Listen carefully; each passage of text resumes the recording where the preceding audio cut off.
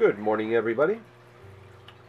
Just making a short update. Uh, yesterday I made a couple of changes to my uh, 75 gallon cichlid tank. I went out and bought some more lace rock, a couple of pieces.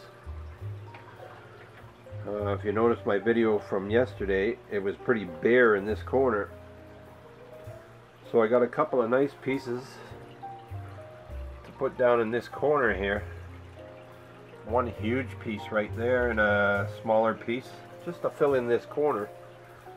I think it really helped the look of the tank by filling in the right hand corner.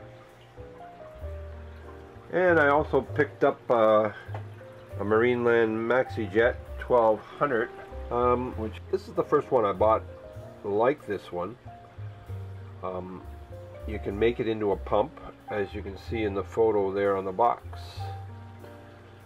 Or you can make it into a, a power head uh, like that.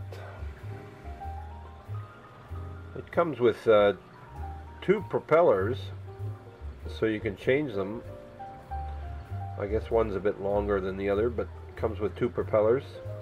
So you can have a power you can make it into a power head or you can make it into uh, the pump type one that you can use as a pump. Just put it on my aquarium yesterday but it seems like a good unit. Which I put up in this corner.